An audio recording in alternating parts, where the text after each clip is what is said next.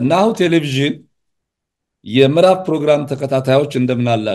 ዛሬ የምንወያየው እንግዳ አድርጌ ጋበዝኩት ቤልጂግ አሊ በሚል የብዕር ስም የሚታወቅ እምባና ኩነኔና ቀለበቴን ስጧት በሚል short story መጽሐፍ ጸሐፊነቱ የሚታወቅ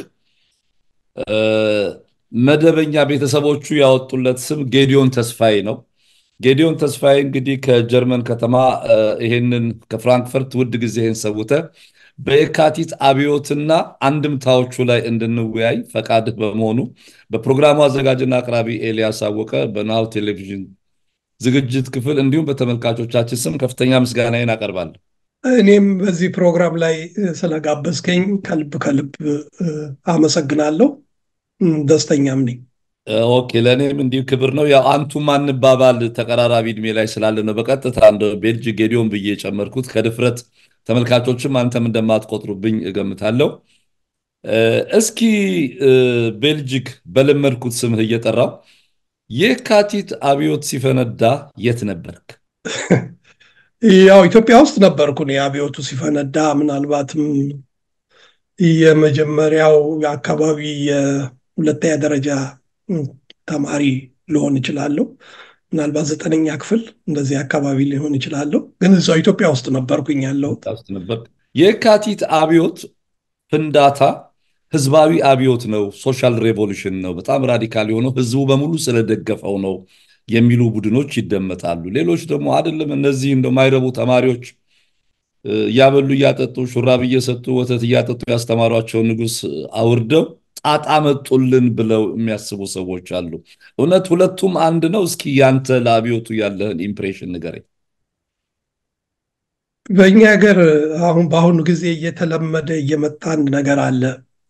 የሚቀጥለው መንግስት ከከፋ የፊተኛውን መንግስት ማሞገስ እየተለመደ መጥቷል። ያ መንግስት ምን ሰራ ብለው ሰዎች መንግስትን በሰራውና ሳይሆን በሚቀጥለው መንግስት ጋር ነው የሚያወዳድሩት። ለእኔ እንዳመለካከት የዲሞክራሲም ወይም የሀገሪቷ ውስጥ ያለው የነፃነት ምልክት የሚቀጥለው መንግስት ልኬት አይደለም። ለእኔ ሳስበው በራሱ መንግስት በአንድ ደረጃ በራሱ ወቅት በነበረው ሁኔታ ሲለካ ነው። የኃይለስላሴ መንግስት ያኔ በደንብ እንትን ባንለው እኔም አንተም በነበርንበት የእድሜ ደረጃ ባንገመግበውም ግን ሁኔታውን እናይ ነበር። የነበረውን ሁኔታ በትክክለኛ ስንገመግመው የነበረውን ሁኔታ ስናይ ከኛ በላይ የነበሩትም ሲያስረዱን የነበረውን ሁኔታ ስናይ የህዝቡንንም አኗኗር ስናይ በተለይ የወሎ ረሃብን በሚመለከት የደረሰውን ሁኔታ ስንመለከት ለውጥ አስፈላጊ መሆኑን እኛ ሳንሆን በንጉሱ ስልጣን ላይ የነበሩ ሰዎች ሳይቀሩ አምነውበታል።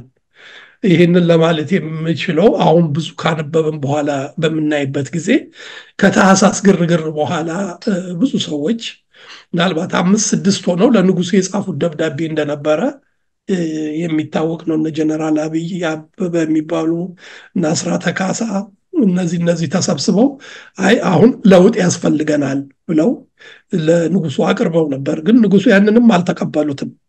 የነበረው ሁኔታ እየከፋ ሄዶ እስከ ረሃብ ድረስ የተደረሰበት ሁኔታ ነው። ያ ህዝባዊ አይደለም የተማሪዎች ንቅናቄ ነው ቢባል የሚሆን አይደለም። ከላይ እስከታች በማንኛውም ክፍል ያንን ለውጥ ያልተቀበለ ሰው ይኖራል ብለን መናገር አንችልም። እና የተማሪዎች እንቅስቃሴ ነው የሚሉት ሰዎች ምናልባት ከዛ በኋላ የመጣው ውጤት አላምር ስላለ የተማሪዎች እንጂ ህዝብ አልነበረም ብለው ሰበብ ለመስጠት ካልሆነ በስተቀር እንቅስቃሴው ህዝባዊ ነበር። ለውጡም የህዝብ ነው። አመሰግናለሁ ቤልጅግ። ጥሩ ነጥብ ነው ያነሳው። ካላሰብኩት አቅጣጫ ነው ያስታወስከኝ። አዎ እንደነ እንግዲህ አቶ አዲስ አለማየሁ ኢትዮጵያ ምን አይነት አስተዳደር ያስፈልጋታል? ቅድም የሚያልካቸው ሌተና ጀነራል አብይ አበበ የመከላከያ ሚኒስቴር የንጉሱ ልጅ የልዕልት ፀሐይ ባለቤት የነበሩ ልዑል አስራተ ካሳም ያው በጣም enlightened aristocrat ነው የሚሏቸው።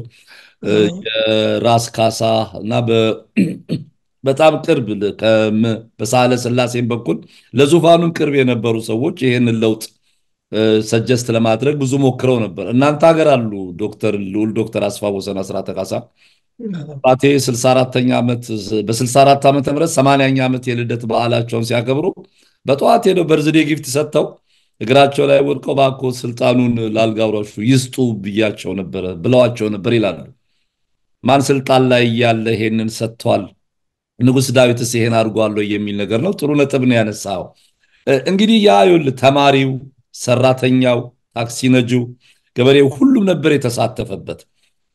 አሁን አሁን የምንሰማቸው ትንታኔዎች በሙሉ የኦሪት ፍየል ፍለጋ ሁሉንም ነገር ሲበዛ ለተማሪው ቀረብ ሲል ለኢህአፓ መስጠት አባዜ አለ። ይሄ የተዛባ ትርክት እንደው በእውነት ማሰብ ያለመቻል፣ የአቅም ማጣት፣ የእውቀት ማነስ የምንድን ነው እንደው ብሎ መውሰድ ይቻላል። ያለማገናዘብ ነው የሚመስለኝ፣ ያለማወቅም ያለማንበብም ነው የሚመስለኝ። አሁን አሁን እየበዛ የመጣው ብዙ ጊዜ የማየው አንዳንድ ነገሮች ስመለከት በጣም ነው የሚያሳዝነው።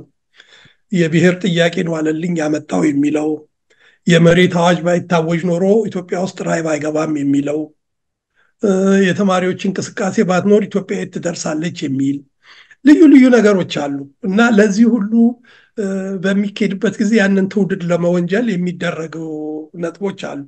ያ ትውልድ ያለውን ያጠየቀውን ነገር በትክክል ቢፈጸም ኖሮ አገሪቷ ሌላ ደረጃ ላይ ትደርስ ነበር የሚል አመለካከት ነው ያለኝ። ትውልዱ ጥያቄዎቹን ስላነሳ የጥያቄው ፈጣሪ ተደርጎ ነው የሚታየው። ጥያቄዎቹ እኮ የነበሩ ናቸው። እነዚህን ጥያቄዎች በምናይበት ጊዜ ዛሬ የብሔርንም ጥያቄ በምናይበት ጊዜ የመደብንም ትግል በምናይበት ጊዜ ሌሎችንም በምናያቸው ጊዜ ባይኖሩ እነዚህ ጥያቄዎች ተማሪው ባያነሳቸው አልነበሩም ወይ ብለን እናንሳ እስቲ እና በአንዳንድ ቦታ ላይ የሚታየው በከፍተኛ ደረጃ ክህደት ነው። ልክ እንዳልነበሩ ተደርጎና ሰዎች ስለተናገሯቸው የተፈጠሩ ነው የሚመስለው። ይሄኛው ትክክለኛ ሁኔታም አይደለም፣ ትውልዱም አይደለም ያመጣው። ይሄ ስርዓቱ ያመጣው ነው። ስርዓቱ ነው መቀየር የነበረበት። ስርዓቱ አርጅቶ ነበር። በዛ ጊዜ ውስጥ ሊያስተዳድር ራሱን አልቻለም። ስለዚህ ነው የወደቀው። በሌላ ላይ ጦስ የጦስ ዶሮ መፈለግ ምንም የሚያመጣው ለውጥ የለም። ምክንያቱም ችግሮቹ ዛሬም አልተፈቱ። ያኔ አይደለም ዛሬም አልተፈቱ። እነዚህ ችግሮች በዛ ጊዜ በነበሩበት ጊዜ ሊፈቱ ቢሞከሩ ኖሮ ዛሬ ለተፈጠረው ችግር ሁሉ እና አሁን ለምናየው ውጥንቅጥ ሁሉ ይህን ያህል በጣም ውጥንቅጡ ሳይወጣ ወይንም ውሉ ሳይወጣ መፍታት ይቻል ነበር። ግን ባለመፈታታቸው ችግሩ እየበዛ እየሄዱ አሁን የደረሰው ደረጃ ላይ ደርሷል። You're right። አመሰግናለሁ ቤልጂክ። እንግዲህ እንደምታውቀው ባለፉት ሀምሳ ዓመታት አብዮቱን አስመልክቶ ብዙ የተለያዩ በፖለቲካ ውስጥ በለውጥ ውስጥ ተዋናይ የነበሩ ሰዎች መጽሐፍት ይጽፋሉ። ከኢህአፓ ወገን ለምሳሌ ኢህአፓን በሚመለከት እነ አቶ ክፍሉ ታደሰ፣ እነ ወልደ ልዑል ካሳ፣ እነ ዘውዱ በላይ፣ በመኢሶን አንዳርጋቸው አሰግድ፣ አማረ ተግባሩ፣ በደርግም እንግዲህ ሌተና ኮሎኔል መንግስቱ ኃይለማርያም፣ ሻምበል ፍቅረ ስላሴ ወግደረስ፣ ሌተና ኮሎኔል ፍስሐ ደስታ ሌተና ኮሎኔል ብርሃኑ ባየና ሌተና ጀነራል ሀዲስ ተድላን እንዲሁም ደግሞ በቅርብ የነበሩ ደጋፊዎቻቸውና የዛ ስርዓት ተጠቃሚም ባልደረባም የነበሩ ሰዎች መጽሐፍ ጽፈዋል። እነዚህ ሁሉ መጽሐፍቶች ግን በሙሉ በይዘት ረገድ በጥልቀት የካቲትን አብዮት እንዴት እንዳጣ ነው፣ እንዴት እንደተከሰረ፣ እንዴት እንደተወደቀ የተጻፈበት ነገር ወደ መልስም እንኳን ባይሆን ወደ መልስ ፍለጋ ሊወስዱ የሚችሉ ነገሮች አላነሳም። እንደምታውቀው የደርግ አባሎቹም አሁን ሲጽፉ የደርግ አባል ሆነው ነው የጻፉት። አሁን ራሱ ያለ ነገር ነው የሚመስለው እና እንዲህ አይነት ምሁራዊ ዝቅጠት የፖለቲካ ተዋናዮቹ እንደው በዚህ ጊዜ ቢያንስ እንደው አንድ ነገር ለመጪው ትውልድ በምን መንገድ አሳልፈው መሄድ አለባቸው? የዛ ዘመንስ ታሪክ እንደው በምን መንገድ ጸሐፊ ስለሆንክ ነው በተለይ ይሄን ጠይቅ በምን መንገድ መጻፍ እና መዘከር አለበት ትላለህ? በቅርብ ጊዜ አንድ የተጻፈ የግለ ታሪክ ላይ ሳነብ የባህሩ ዘውዴን ታሪክ ሳነብ አንድ ታሪክ እንዴት እንደሚጻፍ ትንሽ ተጠቅሶ ነበር ውስጡ በጊዜው የተሰሩ ስራዎችን። በአሁኑ ጊዜ ያለው ሰዎች የግል አስተሳሰባቸውን ነው እንጂ የጻፉት በትክክለኛ ተጠንቶ ይሄ ነገር ትክክል ነው፣ ይሄኛው እንዲህ ነው፣ ይሄ ነው እንደዚህ ነው የሚል ጥናታዊ የሆነ ጽሁፍና በትክክለኛ ተጠንቶ የተጻፈ ጽሁፍ እኔ እስካሁን አላየውም። ምናልባት ወደፊት ሊመጣ ይችል እንደሆን ነው። ይሄ ነገር ግን መጠናት አለበት። በግለሰብ የምንጽፈው ታሪክ እንደ ታሪክ ሊወሰድ አይችልም። ብዙዎቹ ራስን የመከላከል ጥፋቱን ሳይሆን እውነቱን ሳይሆን መከላከል አንደኛ። በሁለተኛ ደረጃ ደግሞ ያን ጊዜ የነበረውን ሁኔታ በአሁን መነጽር ማየት ይሄ ትልቁ ስህተት ነው። ደግሞ ያየሁት አንዱ በአሁን መነጽር ያዩና ለምን multi party system አልነበረም? ለምን እንደዚህ አልነበረም? አንዳንድ ጊዜ ምን ይመስለኛል መሰለ ከክርስቶስ መወለድ በፊት ክርስትናን የሚጠይቁ ሰዎችም አንዳንድ ይመጡብኛል። እውነቴን ነው። በጣም ወደዛ እና የሚጠየቀው ጥያቄ አንዳንዱ ዝም ብሎም ነው። ለምን እንደዚህ ያልተደረገ በአሁን መነጽር ያንን ማየት ጥናታዊ ያልሆነ ጽሁፎች መጽሐፍ ብዙ ነገር ነው የማየው። አንዳንዶቹ ይገርመሃል ከጀርባቸው መጽሐፉ ላይ ይቅርታ ይጠይቁና ውስጡ ላይ በርበሬ ነጋዴዎችን ስለገደልን በርበሬ ረከሰ ብለው ይላሉ። ከጀርባ ምን እንደጻፉ ይቅርታ የጻፉት ምኑ ላይ እንደሆነ አይገባኝም። አንድ ተራ ነጋዴ አምስት ብርና አስር ብር አታለልክ ተብሎ መገደል ትክክል ነው ብሎ እንደ ምክንያት የሚጽፉ ሰዎች የተፈጠሩበት ዘመን ነው። አንዳንዶቹ ከጥላቻም አንጻር ነው የሚጽፉት።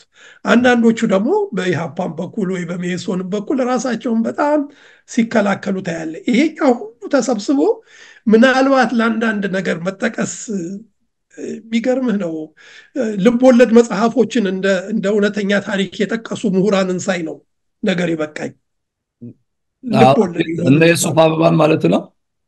የሱፍ አበባ አሁን እንደ እውነተኛ መጽሐፍ አበባ ላይ እንደዚህ የተደረገው ብሎ ምሁር ከጠቀሰ ያንን ታሪክ በደንብ አልገባውም ማለት ነው። እንደዚህ አይነቶች ናቸው እና ይሄ አሁን እኔ በትክክለኛ መንገድ ይሄ ነገር መጠናት አለበት። በተወሰነ ደረጃ ምሁራን ተሰብስበው ተሰብስበው ነው የምልህ በኢሃፓም በኩል ያሉት በማን በሁሉም በኩል ያሉት ተሰብስበው ተነጋግረው ያንን ነገር አንድ መፍትሄ ቢያመጡ ምናልባት ለወደፊት ለምንፈጥረውም ስርዓት ይጠቅም ይሆናል ባይ ነኝ። እንዲያውም እሱ ስላልተፈታም ይመስለኛል አንዳንድ ጊዜ የአሁኑ ህይወት እየከበደ እና መፍትሄ ዶክተር ታዬ አንድ ጊዜ ምን ያህል ውዥልቅ የሚለው ነገር ነበር። ምን ያህል አማርኛው ትክክል እንደሆነ አይደለም። ውዥልቅ ማለት ለሱ ውሉ የጠፋ የተበተበ ክር ማለት ነው። እንደዚህ ሊፈታ የማይችል ልቃቂት የተጎለጎለ እንደዛ ነው ብሎ ነው የተረጎመልኝ። እኔ ብዙ ቦታ ፈልጌ አላገኘሁትም፣ ግን የአሁኑ ነገር እዛ ላይ የተደረሰበት ምክንያት ከመጀመሪያው ነው መታየት የነበረበት ትንሽ በትንሽ በትልቅ ነገር ነው። እና አንዳንድ ጊዜ የሚከብደኝ ነገር ምንድን ነው ሁሉን ነገር በአንድ ላይ ለማንሳት ድሮ እዚህ ሀገር ጀርመን ሀገር ስራ ሲጀምር በጉልበት ስራ ነበር የጀመርኩት። እና መጀመሪያ የተሰጠኝ ይሄ ሜንሽ የመሰለ ይሄ እንትን ብረት ያለው እንደ fork እንደ ሹካ የመሰለ በሱ ለማንሳትና የተከመረ አበባ ቤት ነበር የምሰራው። እንደመጣው ገና ጀርመን ማለት ነው። እና አበባ ቤት ላይ ክምር ነበረ እንትኑ የተከመረው አበባውን እየቆረጡ እየቆረጡ እና ከስሩ ገብቼ እንትን ለማለት ነበር የምሞክረው። ሰውነቴም ደከመን አልቻልኩም ጀርመኑ መጣና ምን እያረክ ነው አለኝ። እንደዚህ ነው አልኩት። አይደለም እንደሱ አይደለም፣ ሁሉን ለማንሳት አትሞክር። ከላይ ከላይ ትንሽ ትንሽ ትንሽ ትንሽ እያነሳ አንሳው አለኝ። ሳነሳ ሁሉም አለቅ። የእኛ ችግር እንዲህ ነው። ሁሉንም አንድ ላይ በአንድ ጊዜ ለመፍታት ወይም አንድ ሰበብ ለማምጣት ብንሞክር የሚሆን ነገር አይደለም። በትንሽ በትንሽ ግን ብናየው ምናልባት መፍትሄ የምናገኝበት ሁኔታ ይኖራል። የሚጻፉት መጽሐፎች ብዙዎቹን ስታያቸው ከራስ መከላከል ውጭ ሌላ ምንም ነገር የላቸውም። ውስጥ ገብተን ስናየው ግን even በአንድ መጽሐፍ ላይ እንኳ በውኑ ልብ ብለን ብናየው መጀመሪያ page ላይ የተጻፈውና መሀል ላይ ያለው ሲቃረንም የምታይበት ሁኔታ አለ። እንደነገርኩ ጥናታዊ ያልሆኑ ጽሁፎች ይበዛሉ። ሁለተኛ ነገር ደግሞ በአሁኑ መነጽር የወደፊት የእንትኑን ማየት፣ ሶስተኛ ደግሞ በአሁኑ አቋም የወደፊቱን ለመተንበይ መሞከር ዋለልይን ተችተህ ዋለልይ ነው የችግሩ ሁሉ መፍትሄ ችግር አምጪ ብለህ ከጻፍክ መሀል ላይ ስለዋለልኝ አይደለም የብሔርም ጥያቄ እንዴት ትፈተዋለህ? አትፈታውም። የዋለልኝን ነጥብ ይዘህ ነው ወደፊት ያለውን የብሔር ጥያቄ እንዴት እንፍታው ብለህ discuss ማድረግ። እንግዲህ ዋለልኝ ነው ያመጣው ካልክ ዋለልኝ ሞቷል፣ ጥያቄው ተፈቷል ማለት ነው።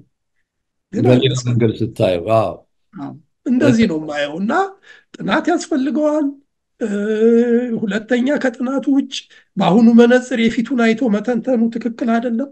በሶስተኛ ደረጃ ደግሞ የወደፊቱንም በተሳሳተ ትርክት ላይ ለመተንበይ መሞከርም ስህተት ነው የሚሆነው። እነዚህ ያነሳቸው ሶስቱ ነጥቦች መሰረታዊ ማነቆ ናቸው። ለምሳሌ አሁን ይሄ በ academic historian በኩል በበቂ ያልተሰራ ነገር ሁልጊዜ የሚገርመኝ ነገር ነው። የፖለቲካ ሳይንስና ዓለም አቀፍ ግንኙነት ትምህርት ክፍል አለ፣ የ history department አለ፣ የ sociology department አለ፣ የ philosophy department አለ። በጣም ሊሰሩት የሚችሉት አገራችን ውስጥ የተከሰተ ነገር በጣም independent ሆኖ ምክንያቱም አሁን ከተዋናዮቹ ውጭ በምሁራን independent ናቸው ትንሽ ብልህ ገንጠል ብሎ ሊያዩ ይችላሉ በሚሉ ሰዎች የተሰራ ስራ አለመኖሩ በደጋፊና በነቃፊ በአባልና አባል ባልሆነ ብቻ በመሰራቱ እየተፈጠረ ችግርም ጭምር ነው። በአንድ ወገን ስትመለከት ቅድም ያነሳው አለ አሁን የሱፍ አበባም ሲጻፍ ታሪካዊ ልቦለድ መሆኑ አልተገለጸም። deliberate ሊመስል በሚችል ደረጃ ልክ ቁጭ ብለህ አቋም ተይዞበት ነው የተጻፈው። የነ ብርሃነ መስቀልን እና የነ ጌታቸው ማሩን ነገር የሚያነሳ ከነዘሩ ጋር ባለ ነገር ነው። loyalty የጎደለው ነው የሚሉ ሰዎች አሉ። loyal ስትሆን ምክንያቱም አንድ controversial የሆነ ታሪክ ብዙ ያልተጻፈበት አሁንም ድረስ ክርክሩና ውዝግቡ ባላለቀበት ነገር ላይ እንዳለ በደንባራ በቅሎ ቃጭል ተጨምሮ የሚሉ ወገኖች አሉ። እስቲ እዚህ ላይ እነዚህን ባነሳዋቸው ነጥብ ላይ ያንተ አስተያየት ምን ይሆናል? አዎ ልክ ነህ። በዚህ ባነሳው ነጥብ ላይ አሁን loyalty የምትለውም አለ። loyalty ው ብቻም ብቻ ሳይሆን ችግሩ ምንድን ነው?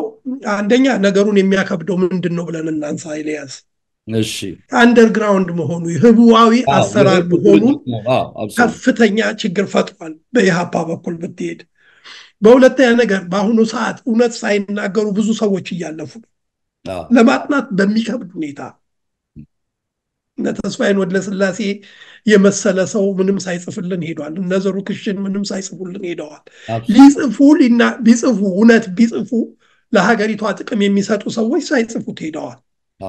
አሁን ባለው ሁኔታ ግን ባለው ሁኔታ በምናይበት ጊዜ ባሉትም እንኳ ጥናት አልተደረገም፣ አይደረግምም። ለምን መሰለ መወንጀልም አለ። አንድ ነገር ብጽፍ ደግፈህም ብትጽፍ ተቃውመህም ብትጽፍ ለሚተኮሰው ጥይት ራስን በቂ ማድረግ አለብህ። ተኩሱ አይቀርም እና እነዚህ እነዚህ ነገሮች በጣም ከባድ እየሆኑ መጡና ምሁራን ያሉት ምንም ምንም ነገር ምንም እስከ ማለት ደረጃ መድረስ እችላለሁ እና በዛ ላይ ደግሞ ስርዓቱ ከዛ ቀጥሎ የመጡት ስርዓት የደርግም ስርዓት ቢሆን የኃይለ ስላሴን ወንጅለህ እንጂ ደግፈህ እንዳጽፍ ነው የሚከለክልህ። የደርግን ደግሞ አሁን ወያኔ ላይ መጥተህ ወያኔን ወያኔ ላይ በምትሆንበት ጊዜ ደርግን መወንጀል እንጂ መደገፍም አትችልም። ራሱም ያሰድብሃል፣ ያሳስርህም ይችላል፣ ብዙ ነገርም ሊያደርግህ ይችላል።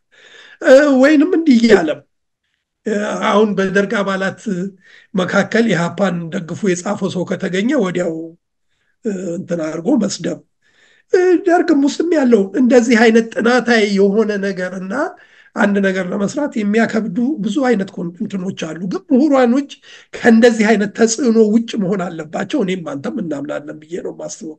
በዚህ አይነት ስድብን ፈርተው ወይ ምናምን ግን በአሁኑ ሰዓት ዩኒቨርሲቲ ውስጥም የነበሩት ምሁራኖች ያው እንደምታውቀው ብዙዎቹ ደህና ደህና የነበሩት ከተባረሩ በኋላ ከዛም በኋላ የመጡት ሰዎች የድጋፍ ወረቀት ሰራዊት ነው የሚመስሉኝ አንዳንዴ ሳያቸው የእውቀት ደረጃቸውንም ሳየው ስገመግማቸው በጣም የደከመና የወረደ ነው። እንኳን የሀፓን ጊዜ እንኳን ሌላውን ቀርቶ አሁን የሚኖሩበትንም ነገር የሚገነዘቡ አይደሉም። ይህን ስል በእውነት ነው የምነግርህ። የዩኒቨርሲቲ አስተማሪዎች አሁን በቅርብ አዲስ አበባ በሄድኩበት ጊዜ አናግሬ ነበር። ኢህአፓን ሲጽፉ እንኳ ኢህአፓ ብለው ነው እንጂ የኢትዮጵያ ሕዝባዊ አብዮታዊ ፓርቲ የሚለውን እንኳ አይጽፉትም። ኢሃ ሀሌታ ይህንን ጽፈው እንዴት ሆነን ነው እንግዲህ የምንነጋገረው? በዩኒቨርሲቲ ደረጃ መምህር የሆነ ሰው ያንን እንኳ ስሙን እንኳ መጻፍ ካልቻለ በጣም የሚከብድ ደረጃ ላይ ነው ያለ ነው። ከዛ በፊትም ያሉት ግን ይሄ ነገር ደግሞ ዘላለማዊ ይሆናል ማለት አይደለም። ትውልድ ይቀየራል። ትውልዱ ዛሬ በጣም ፍላጎት አለው።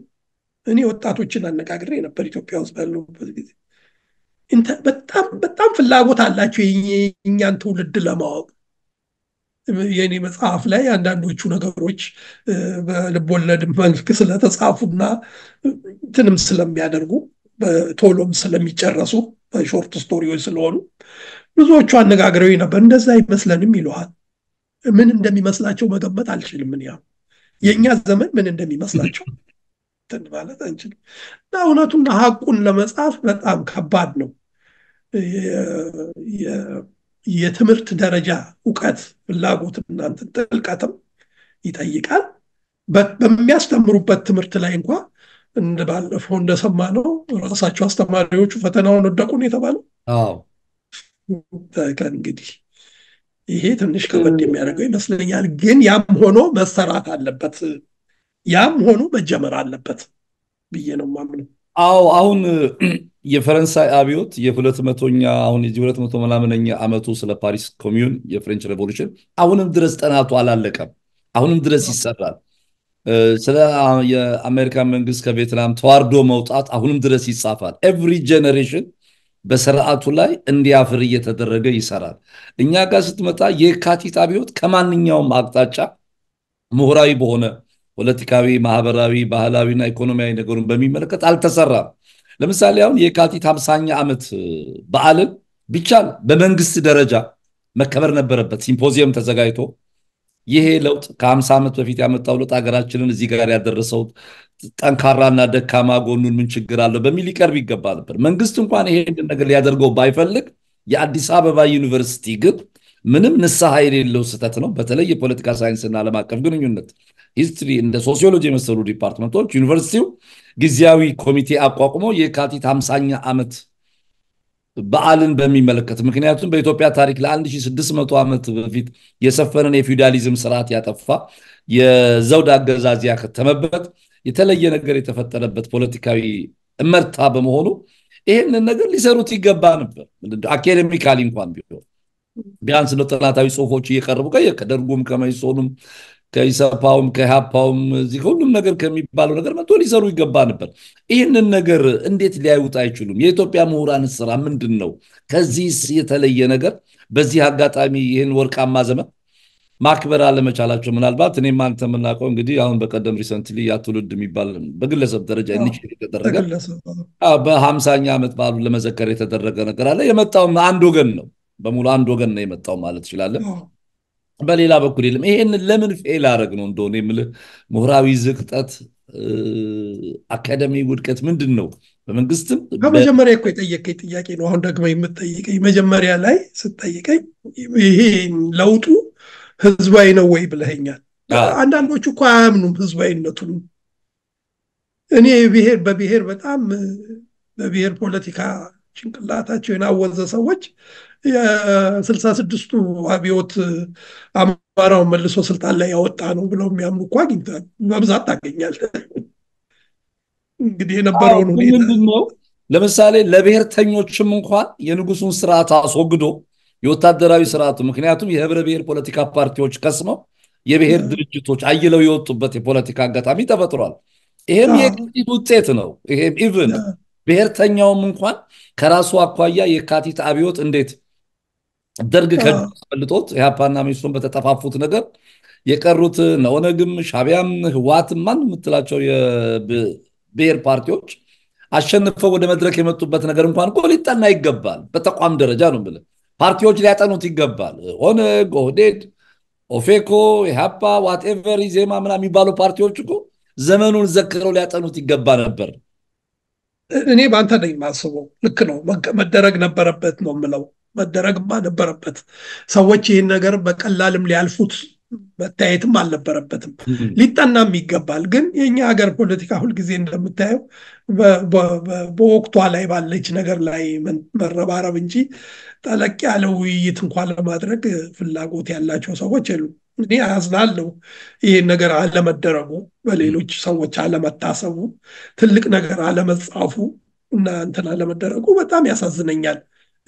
ባለው ሁኔታም በምታይበት ጊዜ ራሱም ይህንን በሚመለከት ሰዎች እንዲታሰብም የሚፈልጉ የማይፈልጉ ሰዎች አሉ። እንደ ሰጎን ጭንቅላታቸውን አሸዋ ውስጥ ከተው ሰውነታቸው ውጭ እኮ ነው ያለው እና አልታየሁም ለማለት የሚፈልጉ አሉ። እኔ ከሌላ ድርጅቶች እጠብቃለሁ። ምናልባት ያ ትውልድ ባደረገው ዝግጅት ላይ ብዙዎቹ የኢህአፓን ቀመስ ሰዎች ናቸው የተገኙት። ምናልባት አንዳንዶቹም እንደዛ። ሌሎቹ የት ሄዱ? ተጠርተዋል። አልተጠሩም ማለት አይደለም። እስከማውቀው ድረስ አልነበሩም። በእሱም ብቻ ሳይሆን ሲጽፉም አላይም። ራሳቸውን ከመከላከል ውጭ ከዛ በላይ ሄደው ሲጽፉ የሚያየናቸው ብዙ ሰዎች አይደሉም። ለማንኛውም ግን እውነት ለመናገር ይሄ ነገር መጠናት አለበት፣ መነገር አለበት። ያልተነገረ ነገር እንደተዋሸ ነው የሚቆጠረው። እኔ በእኔ አስተሳሰብ መነገር አለበት ይሄ ነገር እንዳለ ነው። የነበሩት ችግሮች፣ የተፈጠሩት ሁኔታዎች ሁሉ በሁሉም ቦታ ላይ ቢጻፉ ምናልባት ለትውልድ ጠቃሚ ሊሆኑ ይችላሉ። ግን በአሁኑ ባለን ሁኔታ ሌሎች ሌሎች ችግሮች በሚፈጠሩበት ጊዜ በዛ እየተደናገጥን የኋላውን ለማስታወስ የሚዳግተን ብዙ ነን።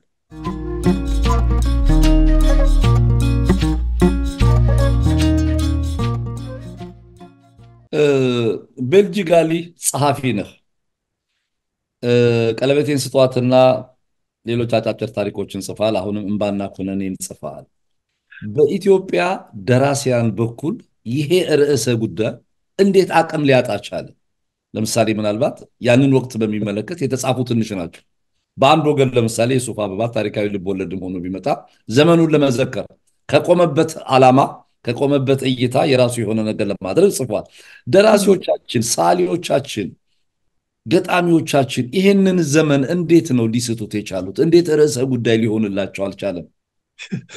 ልክ የጠየቀኝ ጥያቄ ሁልጊዜ የማስበው ነው። በመጀመሪያ ደረጃ በአሁኑ ዘመን ያሉትን ጸሐፊዎች በብዛት ለማግኘት ሞክሬያለሁ ሀገር ቤት አንተም እንደምታውቀው ብዙዎቹ በውሸቱ ትርክት ላይ እምነት ጥለው የተቀመጡ ዛሬ እውነተኛውን ሳይሆን በተደጋጋሚ አንድ ነገር በተደጋጋሚ ሲነገር እውነት ይሆን የለ? ይመስል የለ? እውነትም ሳይሆን በእንደዛ አምነው የተቀመጡ ብዙ ሰዎች ናቸው። በአሁኑ ዘመን ያሉ ጸሐፊዎች የነበረውን ሁኔታ ምናልባት በዛ ትውልድ የዛ ትውልድ መጥፎ ድርጊት ነው ብለው ያመኑ በጣም ብዙዎች ናቸው። እውነት ለመናገር እነዚህ ሰዎች አዲስ እውነት ስለዛ እንትን ይጽፋሉ ብዬ በፍጹም ይከብደኛል ለማመን። በዛ ዘመን የነበርነው ደግሞ አንዳንዶቹ እውነቴን ነው። በዛ ዘመን የነበሩ ጸሐፊዎች ጽፈዋል፣ የተወሰነ ጽፈዋል፣ የግል ታሪካቸውን ጽፈዋል፣ ወይም አንዳንድ ሁኔታዎች መናገር ያለባቸውና እነሱ ማውጣት ያለባቸውን ተናግረዋል። ግን ሁኔታው እሱ ከልብ ወለድ በላይ ሊሄድ አልቻለም። እውነት ለመናገር ግን ያም ቢሆን ጥሩ ነበረ መጻፉ መነገሩ መጥፎ ነው ብዬ አላምንም። ግን የአሁኑ ዘመን ጸሐፊዎች ትንሽ እየመጡ ይመስለኛል። አሁን ባለፈው ጊዜ የኢያሱ አለማየሁ ሀማቱማ የሰራውን Socialist Witch Doctor የሶሻሊስት ጠንቋይ ጉዳይ በሚል ላይ በቲያትር ግራና ቀኝ በሚል በአስራ ሁለት ተከታታይ ሰርተውታል። እንደዚህ እንደዚህ አሁን ብዙዎች ፍላጎት እያደረባቸው መጥተዋል። በአንዳንድ ቦታ ላይ ይጠቅሳሉ። ግን ከዛ በላይ መሰራት ነበረበት። ከዛ በላይ መደረግ ነበረበት። ግን አሁን አሁን ነው እየተረዳው የመጡት አንዳንድ ወጣት የሆኑ ደራሲያን ያ ትውልድ ቢማለቱ ትክክል መሆኑን መታገል እንደሚያስፈልግ በራሳቸው ላይ ሲደርስ ማሰብ የሚጀመሩበት ሁኔታ አለ። ግን ከባድ ነው። በወያኔ ጊዜም ያን ነገር አንስቶ መናገር ትንሽ እንደሚከብድ ታውቀዋለህ። አሁን ደግሞ ትንሽ እንትን ሊላቸው ይችላል። ግን ያም ሆኖ ውስጥ ውስጡን ትንሽ ትንሽ ይሰራል። ብዙ አይደለም፣ መሰራት አለበት። እሱም የእኛ ጥፋት ይመስለኛል፣ የዛው ትውልድ ጥፋት ይመስለኛል። ያ ትውልድ ዝም ማለትን መርጧል በብዛት እዚህ ላይ ነው ችግሩ። ዝም ብሎ ለማስረዳት አይሞክርም። እንዲያውም ብዙ አይደላችሁም በጋዜጠኛ ደረጃ ያንን ትውልድ እያነሳችሁ የምትታገሉ ምን የምትሉ ብዙዎች አይደላችሁም እና ያን ትውልድ ለመከላከል ትውልዱ የተነሳበት መንገድ ይሄ ነው ለማለት ራሱ ትውልዱ መሸሽን መርጧል። ያው እንደ ሰጎኑ ማለት ነው። አንገቱን አሸዋ ውስጥ አደረገ እንጂ ጥያቄው እየደረሰም እየተመለሰም እንትን ይላል እና ትውልዱ ወንጀለኛ ተደርጎ ሲደረገው ዝም ነው የሚለው። ለመከላከል የሚጥሩ በጣም ትንሽ ሰዎች ናቸው። እስማማለሁ በከፊል በከፊል የምስማማው ምንድን ነው ልክ ነው። ኢህአፓውያኑ በተለይ በአመራር ደረጃ ላይ የነበሩ ሰዎች ጉዳዩን እናውቃለን፣ ይመለከተናል የሚሉ ሰዎች በደርግም በኩል ነው ይሄ፣ በመኢሶንም በኩል ነው። ለምሳሌ አሁን ሻምበል ፍቅረ ስላሴ ወግደረስ ሞቱ፣ ለገሰ አስፋው ሞቱ፣ ሌተና ኮሎኔል ፍስሐ ደስታ ሞቱ። እንግዲህ የቀረው የባዮሎጂም ጥያቄ የለብን። በዛ ዘመን የነበሩ ሰዎች ሰላሳ ምናምን የነበሩ ሰዎች ናቸው። ታሪክ ይዘው እየተቀበሩ even በማንኛውም ደረጃ አጥኚዎች ዘለሏቸው። ለምሳሌ እነሱ honest ሆነው ስለ ደርግና ስለ ኢህአፓ ስለነበሩ የፖለቲካ ትግል መጻፍ ይቅርና የራሳቸውን እንኳን ሁኔታ በደንብ አልጻፉም። የቀሩት አመለጣቸው። ይሄ አንድ ትክክል ነው፣ እስማማለሁ ከአንተ። ሁለት አላስፈላጊ የሆነ ዝምታና ጨዋነት፣ በተለይ በኢህአፓን በኩል ቡድናዊነት ይታያል። አድማ አለ። ማናቸውም ደፍሮነቱ ሊያወጡት አልቻሉ። ቅድም እንዳልከው ዘሩ ክህሸንን እኮ interview ያደረገው ኃይሌ ገሪማ ነው፣ በጣም ውጭ ያለ ሰው ማለት ነው። እና እነዚህ ነገሮች የፈጠሩት ችግር አለ። ይሄ ኢህአፓውያኖች ራሳቸው ላይ ያመጡት ነገር ነው ያመጡት ነገር ነው። ስለዚህ ኃላፊነትም አለባቸው። ከባለጌው ጩኸት ይልቅ የእነሱ ዝምታ ነው ወንጀሉ እንዲህ ነገር እንዲስፋፋም ያደረገው አስተዋጽኦ ነው። ይሄን ከአንተ ጋር እስማማለሁ። በሌላ በኩል ግን የኢትዮጵያ ደራሲያን አያነቡም፣ አርጠዋል፣ ዘመን በልቷቸዋል። አሁን ይሄ ገጣሚው፣ ሰዓሊው፣ ጸሐፊው የምትለው thinking agent ነው። predict ማድረግ መቻል አለበት መጪውን ጊዜ ያንን ነገር ለታሪክ ከዚህ የተለየስ ለጸሐፊ ምን material ይገኛል? ኢትዮጵያ ውስጥ ምን በቃ ሳጥናኤል በደርግ ዩኒፎርም የመጣበት ዘመን ነው። ቀይ ሽብሩ፣ ይሄ torture ኡ፣ ግድያው፣ ስቃዩ፣ ስደቱ ይሄ ሁሉ በሙሉ በአንድ ወቅት የነበረ በአጭር ዓመት ደግሞ የተደረገ መሆኑ በዛ ላይ እና ይሄ ደግሞ denial ሌላ ችግር ነው። ዝም ብለህ ስታስብ አንዴ ስብሐቱ የሚያነሳው ነገር አለ ከእንትና ጋር እንዴት ነው አይጻፍም? የአብዮት ወቅት አይደለም ወይ? ከዚህ ጊዜ በላይ ለጸሐፊ ምን አለ ብዬ ስጠይቀው ዳኛቸው ወርቁ እንዴት ይሄን እያየው ስወጣ የሰው ሬሳ እያየው እንዴት አድርጌ ልጽፍ? እንዴት አድርጌ ላስብ እችላለሁ? አለ ይላል።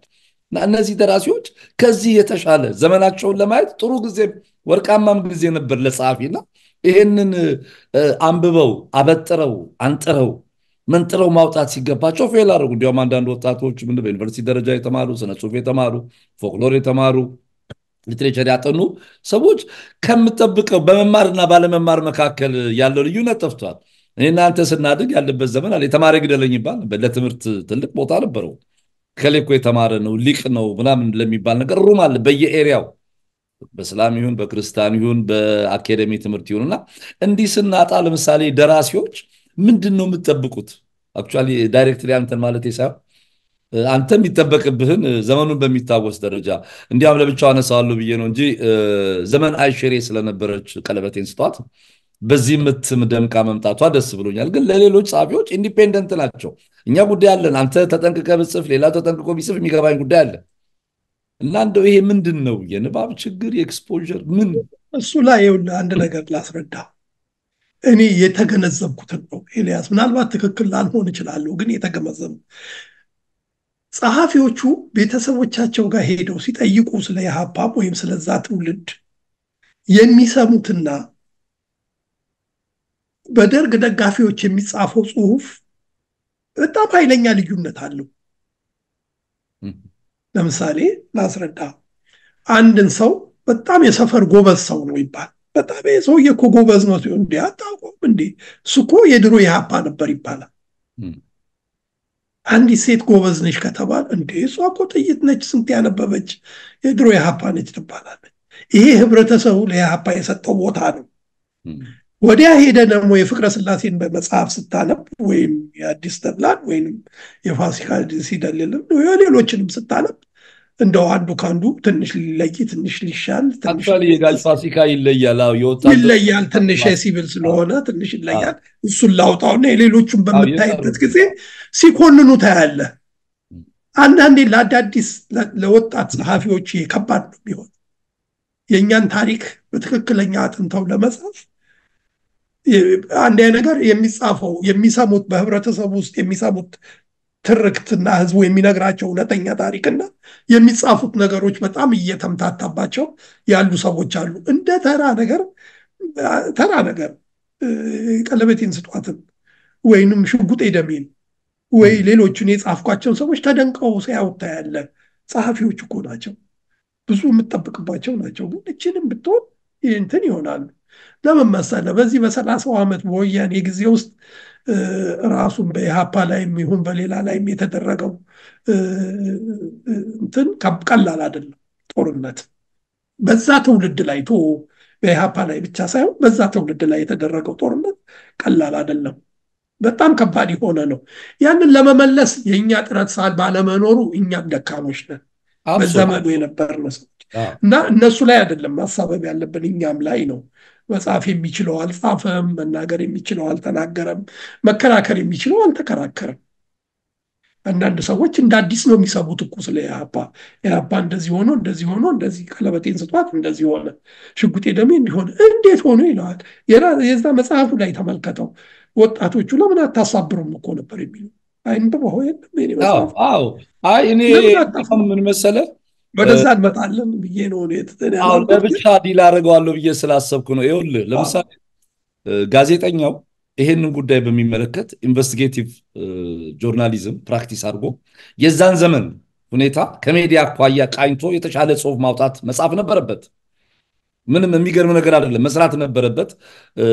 ደርግ despite all his ብዙ ነገሮች አንድ የሰራው ነገር Institute of Ethiopian Studies ለምሳሌ የዲሞክራሲ አት መኖሩ ጎህ መኖሩ የዛን ዘመን ጋዜጠኝነት ምን ይመስል እንደነበረ revolutionary journalism ኢትዮጵያ ውስጥ ይሄ የሶሻሊዝም journalism የሶሻሊስት journalism ምን ይመስል እንደነበር የፕሮፓጋንዳና ቅስቀሳው የምን እንዴት ይመጣ እንደነበረ የምታይበታል። በእያንዳንዱ የአዲስ ዘመን ጋዜጣ ላይ የመኢሶን ሰዎች ሬሳ ማን ሞት ዜና በተለይ ለአብዮታውያን መቃብር እናንተ ስናድግ ባልነበረበት ቅዱስ ዮሴፍ ቤተክርስቲያን እየተነሳ የቀረቡ ብዙ ነገሮች አሉ። በጋዜጠኞች አኳያ አልተሰራም። literal ይሄ ነገር ምንድን ነው? የኢህአፓ ሰዎች ታሪካቸውን መጻፍ አለባቸው፣ ግዴታቸው ይሄን ባለማድረጋቸው ትውልድም ይጠይቃቸዋል። እኔ እንዲያውም ሁሌ የምለው ሁለተኛው ቀይ ሽብር ይሄ ነው።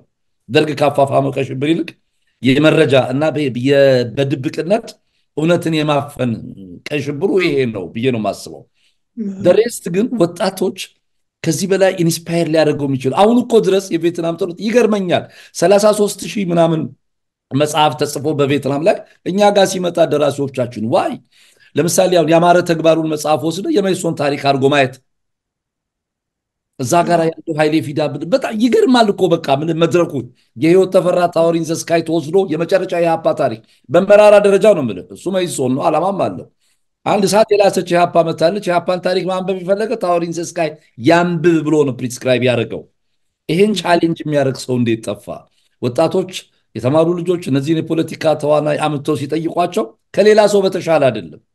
ለምሳሌ እና አቶ ሙልጌታ ሉሌ እንመልከት። አቶ ሙልጌታ ኮሌ ታስታውሳለህ? 667 ላይ ራስ መስፍን ድሃው መስፍን በሚል ስለ ራስ መስፍን commission writing በሚመስል ደረጃ የለም ምን አላቸው እኮ ሰማንያ ጋሻ ነው ያላቸው። እንግዲህ አንተ ደግሞ ባለሙያ ነህ በዚህ በእርሻውም ሰፈር አንድ ጋሻ አርባ ሄክታር ነው ምናምን መሰለኝ ቁጥሩ ከተሳሳትኩ ታርመኛለህ።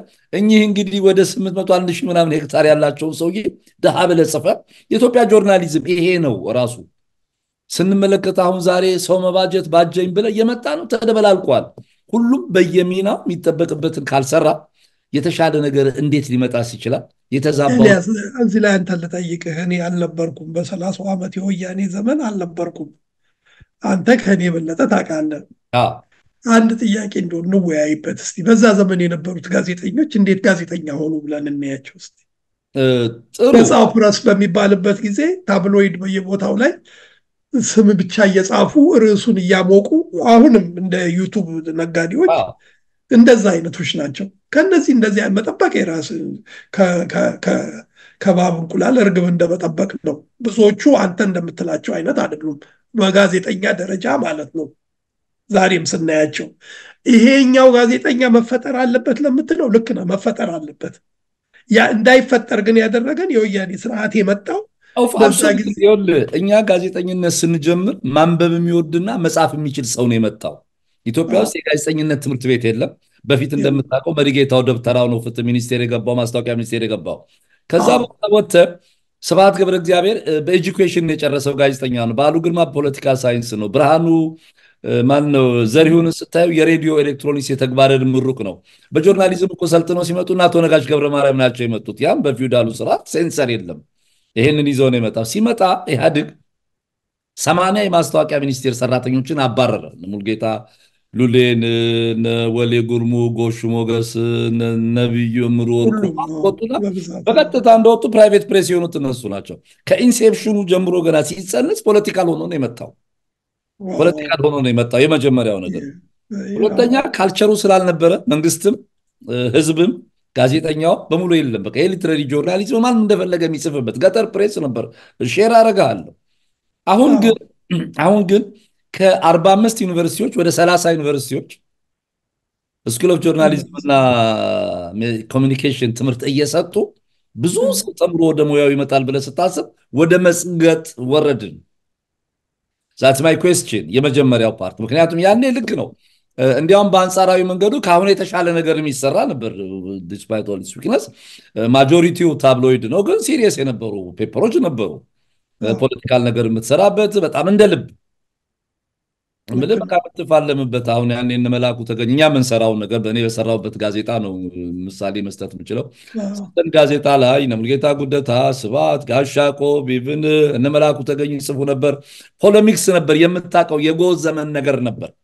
በእርግጥ ያኔ እንዲህ አይነት አንባቢ አልነበረም። sensational ነገር ይፈልግ የነበረ በጣም ስለነበር በቃ ብዙ ነገሮች ነው አብሮ የሞተው። journalism እንደምታውቀው የ culture ውጤት ነው፣ የስልጣኔም ውጤት ነው እና እንደ አጠቃላይ ግን ልንሰራ ስንመጣ መማር የሚከፍታቸውን እድሎች experience የከፈታቸውን እድሎች ለጋዜጠኛውም፣ ለታሪክ ባለሙያም፣ ለፍልስፍናውም፣ ለጸሐፊውም ሰው ሊያመጣ አለመቻሉ ነው የሚገርመኝ። ስርዓቱ የፈጠረው ዝቅጠት እዚህ ላይ ታየዋለህ። አብሶሉት ስርዓት የፈጠረው ዝቅጠትም አሁን ገና በዚህ በትንሽ ጊዜያቶች ይስተካከላል ብዬ የሚማላምነው ደረጃ ላይ ነው ያለው። ዝቅጠቱ በጣም ኃይለኛ ነው። ለምን አልኮረጅንም ብሎ የሚያድም ተማሪ የተፈጠረበት ዘመን እኮ ነው። መኮረጅ ለምን እንከለከላለን? እኛ ደግሞ ስናድግ ማትሪክ ወደቀች፣ ሚኒስትሪ ወደቀች፣ የትኋን መድኃኒት ጠጣች፣ ራሱን ሰቀለ ነበር የምናውቀው። ራሱን ሰቀለ ምናምን የሚል ነበረ እና ያኑ ሁሉ አሁን ለምን እንደዚህ አልሆነም እንደዚህ አልሆነም ብለን discuss ብናደርግ እኔ እናንተ ብንወያይበትም መጨረሻ ላይ ስርዓቱ የፈጠረው ዝቅጠት እንደሆነም ከመጀመሪያ የትምህርት ቤት ደረጃ መማሪያው አሁን ለመሆኑ የሚያስተምሩት ሰዎችን አነጋግረህ ታውቃለህ? እኔ አነጋግሬ አላውቅም። እነሱ ራሱ በቂ እውቀት አላቸው እንዲህ በእንትን በትምህርት ደረጃ እንደው እዚህ አሁን በስደተኝነት ወደ ካናዳ ሲመጡ አንዴ ደንግጫለሁ። የቦንጋ ዩኒቨርሲቲ የሕግ ትምህርት ቤት ምክትል ዲን እዚህ መጥቶ እና በአጋጣሚ እንዲህ ከ case ሁኔታ ጋር ተነጋግረን ስናይ ደነገጥኩ። እንዴት ይህን ኃላፊነት ተቀበልክ አልኩት። ምንም ብቃት እንደሌለው ተማምነን ማለት ነው። ምን ላድርግ ሹመቱ እኮ ነው ኑሮ አይደል እንዴ? ሸቀል ነው ሲሰጡኝ እንዴት እምቢ እላለሁ? አንተ ብትሆን እምቢ ትላለህ ወይ? ደሞዙን አይተህ አልቀበልም ትላለህ ያስደነግጣል። ይሄ እንግዲህ ምን የቋንቋውን ሁኔታ ምናምን በቀደም ከጋሽ ጌታቸው ጋር ስንነጋገር ያነሳ ነው ነበር። የተማሪው ንቅናቄ ለምሳሌ አማራ ጠል ነበር የሚሉ ምሁራን ተፈጠሩ። አሁን የስራው ቋንቋ የአድሚኒስትሬሽኑ ቋንቋ እንግሊዝኛ ነው እና አሁንም ድረስ እንግዲህ በተማሩት ደረጃ እንዲህ ከሆነ ባልተማሩት ደረጃ ብዙ ነገር ሊሆን እንደሚችል መገመት ነው። ይሄ ብዙ ያበዛሁት ይሄን ሳይድ ጸሐፊ ስለሆንክ አንተ ለምሳሌ ብዙ የምናስባቸው የኢህአፓ አባል የነበሩ ጸሐፊዎች ብዙ ይጽፋሉ ብለን እንጠብቅ ነበር። በተለይ ደርግ እስከወደቀ በኋላ በጣም ያኔ አይቻልም፣ ብዙ ነገር መጻፍ አትችልም። ያው እንደምታየው ትራውማውም ነበር። ደርግም አንዱም የጎዳን ትልቅ ነገር መረጃዎች በሙሉ እንዲቃጠሉና እንዲጠፉ፣ ምክንያቱም የሰዎች manuscript በሙሉ እንዲጠፋ ትልቁም ሌላው ቀይ ሽብር እሱ ነው። በቀደምም ከአንተ ጋር informally ስናወራ የማይደመጥ ብዙ ቦታ የማይጠቀስ አንድ ጥሩ ነገር ብለኸኝ ነበር። ለምሳሌ ዋለልኝ የሚረገመውን ያክል patriotism ላይ በጣም የሚያተኩር በአርበኝነት ላይ የጻፈው ጽሁፍ ነበር። እስቲ እሱን አውራኝ። እንኳን አነሳህልኝ። እኔ ብዙ ቦታ መናገር የምፈልገው ነገር ነው። በ percent ምን ያህል እንደሆነ ልገምት አልችልም። እኔ ሁለት ጥናት ስላላደረኩ ግን ዘጠና percent ይመስለኛል ለእኔ ሳስበው፣ ወይም ዘጠና አምስት percent እገምታለሁ። የዋለልኝን ወረቀት ሳያነብ ዋለልኝን የሚኮንነው ሰው ዋለልኝ ማን ነው ብለው ምንም የማያውቁ እኔ ብዙዎቹን ዋለልኝን የሚሰድቡ ሰዎች እስቲ የዋለልኝ ሌላ አንድ ጽሁፍ ንገረኝ ብትላቸው አይነግሩም። የአዚናራው እስረኛ የሚል በጣም ትልቅ የሆነ ልንኮራበት የምንችል ስንት የጀግንነት ታሪክ እንደተጻፈ እዛ ላይ ማየት ትችላለህ። እንዴት የሀገር እንዴት ኢትዮጵያዊነትን እንትን እንደሚለው ዋለልኝ እንደዛ ይጽፋል ብሎ የማያስቡ ሰዎች እሱ አይደለም ሊሉ ነው። እንግዲህ አሁን እንዲያውም የዋለልኝን ጽሁፍን የጻፍኩት የሚለው በስቶ የለም ምናልባትም የአዚናራውንም እኔ ነኝ የጻፍኩት የሚለው ሊመጣ ይችል ይሆናል። እንደዛ ነው የምናየው። ግን ብዙ ሰው በማያውቀው ነገር ላይ ነው የሚተቸው። ሁልጊዜ የትም ቦታ ላይ ስለዋለልኝ አንድ ነገር በሚነሳበት ጊዜ አንብበዋለሁ የወረቀቱን እለዋለሁ። ባላነበውም ሰምቻለሁ ብሎ ነው የሚቀለን። ማንም አይልህም። ምክንያቱም ልትጠይቀው ትችላለህ። ምን ይላል እስቲ ስለዚህ ምን አለ ምናምን ብለህ ብትጠይቀው ልትይዘው ስለምትችል፣ ብዙ ሰው ግን ዋለልኝን በሚሰድብበት ጊዜ አዋቂ ለመባልም ካለው ፍላጎት አንጻር ነው እንጂ አንብቦት አይደለም። አንብቦት አይደለም። ብዙ ሰው አላነበበውም። በእርግጠኝነት ደረጃ አሁን የተመቸው ይኸውልህ የኢሃፓ ቅድም ጥሩ አንስተሃል ህቡ መሆን በጣም ብዙ ሰዎች እኔ አደፍርስ ነኝ፣ እኔ ሰዓቱ ተሰማ ነኝ፣ እኔ እንደዚህ ነኝ በሚል የዛን ዘመን የታወቁ ተነባቢ የነበሩ በብዕር ስሞች ይጻፉ የነበሩ ግጥሞችን ክሌም አድራጊው በዛ። ከሌ ነኝ ከሌ ነኝ ምናምን እየተባባለ ከዛም ደግሞ ብለመታን በዋለልኝ ላይ እንግዲህ በቀድሞ ዩኒቨርሲቲ ተማሪዎች ከዶክተር መላኩ ጋር ተነጋግረን ነበር። የኦነግ አመራሮችና የህወሓት አመራሮች ነበርንበት ይሏል። ምክንያቱም በግሩፕ ተዘጋጅቶ በሱ ስም በመጻፉ ማን ነበረ ግሩፑ፣ የት ነበር፣ ከነማ ጋር ነበር፣ ምን ቦታ ጽፈሃል የሚል ጥያቄ የሚያቀርብ ጋዜጠኛ የሚል በዚህ ደረጃ ብዙ ነገሮች ከስረናል። አሁን አንድ ያነሳልኝ ጥሩ ነገር የአዚናራው እስረኛ ለምንድን ነው በጣም ብዙ ስፕሬድ ላይ ያደረግ የቻለው ጽሁፉ? እንትን አይደለም የአዚናራው እስረኛ እንደ ሌሎቹ የአንተን አዋቂነት ወይንም የሚያስነሳህ አይደለም እሱ አንተ አሁን አዋቂ ለመባል ስትፈልግ መሳደብ ያለብህን ነገር ይዘህ ነው የምትነሳው። ይሄ ብዙ ሰዎች ላይ ነው። ወይ አዋቂ ሰው ትሰድባለህ ወይ ምን ትላለህ። በቅርብ ጊዜ የተጻፈ መጽሐፍ ሳነብ ይሄን ነገር ጠቅሰው የተጻፈ አለ። አለማየሁ ገላጋይ የጻፈው ላይ መሳደብ በቃ የአንዱ ትልቁን ሰው እየተሰድበውና ከዛ በኋላ ያንተ ትልቅ ትሆናለህ። በቃ እንትንህን ከፍ ታደርገዋለህ፣ የራስን ደረጃህን ያለህበትን እና ስለ ዋለልኝ የሚናገሩ ሰዎች ዋለልኝ ምን አለ የሚለውን አንድ ጊዜ ድሮ ነው ነፍሳቸውን ይማርና ፕሮፌሰር ጌታቸው ኃይሌ ጋር እንዲህ በጣም ወዳጆች ነበር እና ሚኒሶታ እሳቸው ያሉበት ቤታቸው ሄደን ስንጫወት ስለ መሬት ላራሹ ነበር የምንነጋገረው እና እሱ እኮ ያኔ እናንተ ባታመጡት ኖሮ እኮ እንደው ይሻል ነበር ምናምን አሉኝ ሲሉኝ ፕሮፌሰር ይሻል ነበር እንኳን ያን የመሬት ላራሹን ይዘን መምጣት አለመምጣታችን ባናመጣው ይሻል ነበር አሏቸው። አሁን ወያኔ ይጠቀምበት ነበር ግን ስላቸው እውነትህን ነው እውነትህን ነው ወያኔ ቢያገኘው ኖሮ ምን እንደሚያደርገን እኔ እንጃ አሉ። አየህ ጥያቄ ማንሳት ስተት አይደለም። ጥያቄ መፍታት ራስህ አንስተህ ጥያቄ መፍታት የፈረንጆችን ባህል ነው። እነሱ በሚመስላቸው ለመፍታት ይሞክራሉ። ወደፊት ሊያድግ ስለሚችል ወደፊት በመጥፎ አቅጣጫ ሊሄድ ስለሚችል ይሄንን ነው አየህ። አሁን ስለዋለልኝ እንኳን አነሳልኝ። ለዋለልኝን ነገር የሚሰድቡ ሰዎች ዋለልኝ ሞቷል። ለምንድን ነው የዋለልኝ ጥያቄ እስካሁን የማይሞተው? እሱ ነው መሰረታዊ ጥያቄ። የዋለልኝ ጥያቄ በተነሳበት ጊዜ ይሄ ሁሉ አይነት ነገር አልነበረም። ብዙ ነገሮች ሊፈቱ የሚችሉበት፣ ብዙ ነገሮች ሊሰሩ የሚችሉበት ዘመን ነበር። እያደር እየቆየ እያደር ሄደ እና አሁን በምታይበት ጊዜ ልክ ያ ትውልድ ይመስላል ኤርትራን ያስገነጠለው። የደርግ ጭፍጨፋ ይረሳል። ደርግ ለሀገር የተዋጋ ደርግ ለሀገር የተዋጋ ያ ትውልድ ግን ለሀገር ያልተዋጋ ለማስመሰል ይሞከራል። መፍትሄ ነበረው ያ ትውልድ የሶሻሊስት አመለካከት ነበረው። በዛ አይነት ነገር ለመፍታት ሞከረ። ከቻለም ይችላል፣ ካልቻለም ሌላ ነገሮች ይሞከራል። ግን ያን ሁሉ መከልከልና መጨፍጨፍ ሀገር ማስገንጠልን ያመጣል። ይህንን ነገር ማስረዳት ይከብዳል ለብዙ ሰዎች። ምክንያቱም በአሁኑ ጊዜ ያው ቅድም ጦስ የጦስ ዶሮ መፈለግ ነው። ያንን ትውልድ መስደብ ቀለል ይላል። ምክንያቱም መሳሪያ አያነሳብህም፣ አያስርህም፣ አይገርፍህም ያ ትውልድ። አመሰግናለሁ። እንግዲህ እስኪ በክፍል ሁለት የመጀመሪያው ክፍላችን ያው ሰዓት ገደብ አለው፣ ሀምሳ ደቂቃ ጥሩ ውይይት ተወያይተናል።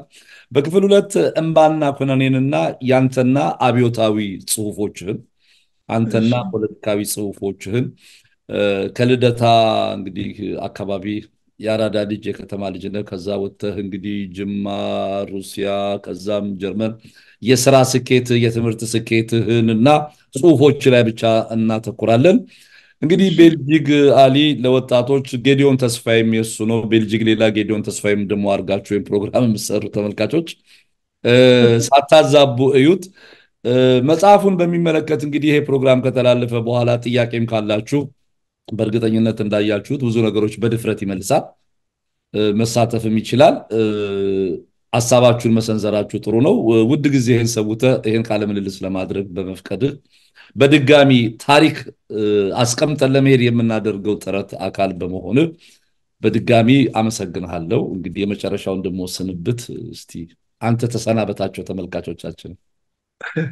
በጣም ነው ደስ የሚለኝ እንደው ኤልያስ ከአንተ ጋር መወያየቱም ራሱ አንድ እንትን አለው ጠለቅ ያለም እውቀት ስላለ በብዙ ነገር ላይ እንትን ነው ለእኔ ግን መሰረታዊ በሆነ ጥያቄዎች ላይ የጠየቀኝ ጥያቄዎች የምፈልጋቸው ናቸው። ለራሴም መናገርም የምፈልጋቸውን ነው። በጣም ነው የማመሰግነው።